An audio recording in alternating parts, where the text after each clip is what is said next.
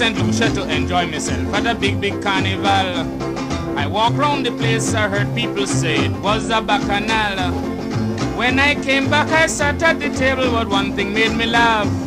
No fork, no plate, no spoon, no glass, but plenty calabash. So every St. Lucian accustomed to wash.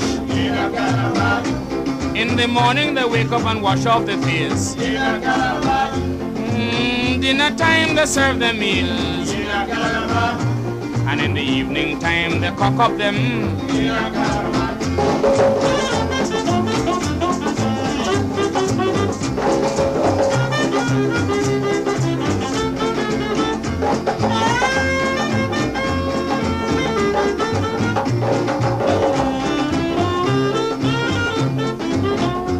Well, uh, then I decided that I would take a stroll around town.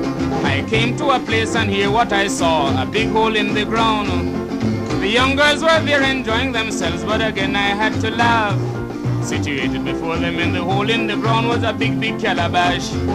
So they wake in the morning and beat up a punch.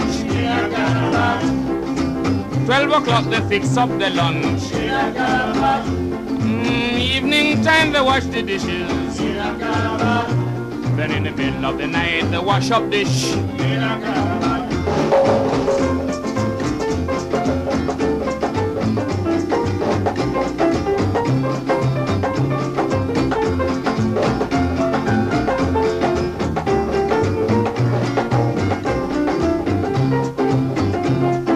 Yes, sir. Every St. Lucian accustomed to wash. In the morning they wake and wash off the face. Dinner time they serve the meals. And in the evening time they cock up them.